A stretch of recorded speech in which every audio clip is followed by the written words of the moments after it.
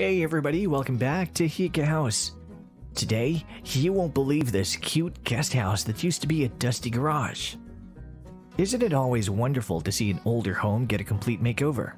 What's even better is seeing an old garage or shed completely transformed into a cute little cottage with tons of style and character.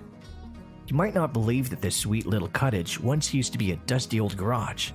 Allie of Proverbs 31 Girl transformed the garage in her yard into an awesome guest house for family and friends who come to visit. The garage started as a single garage stall, if you can imagine.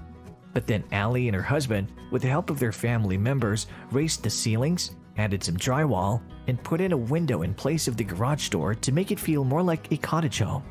Of course, they also had to add some flooring that they happened to be able to get from friends who bought a home with four different types of flooring on their main level.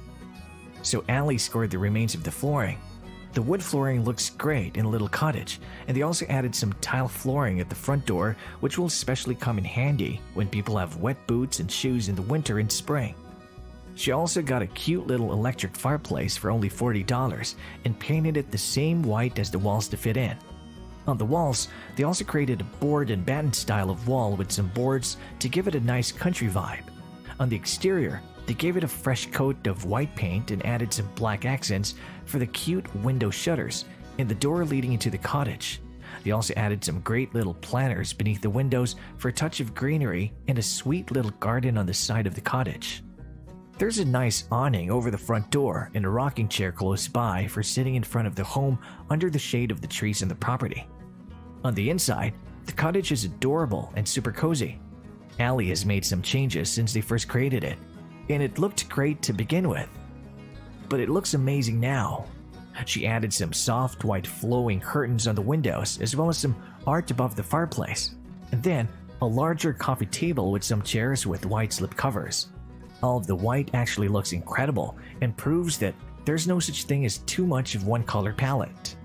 They also added a bed in the space which is perfect for guests coming to spend the night, as well as a great armoire to put linens in, or guests can use to store their clothing and items. The bed looks super comfortable with all white linens and lots of pillows. The windows with soft curtains stream some beautiful light into the space, making it look really dreamy. On one side, she decided to put a nightstand. And on the other, instead of another nightstand, she added a small desk with a chair, which would be great for writing or doing some work. That's a great idea for a smaller space too. If you need a desk base but don't have enough room, just opt to change out one table for a desk instead. It also shows the amazing things you can do with a small space. So, if you have a shed of your own or a small garage like this one, you could turn it into a sweet space on your property.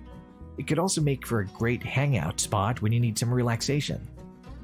And if you like this video, don't forget to consider dropping a like because it really helps this channel to grow.